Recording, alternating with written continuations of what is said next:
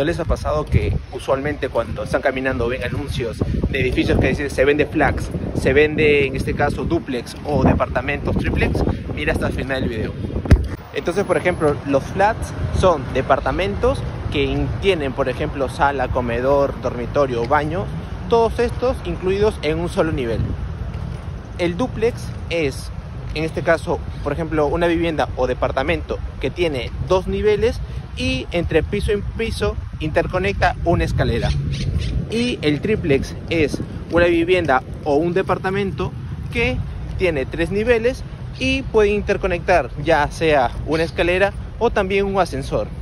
Bueno, espero hayas aprendido algo nuevo, compártelo si te interesa y nos vemos en un siguiente video. Hasta la próxima.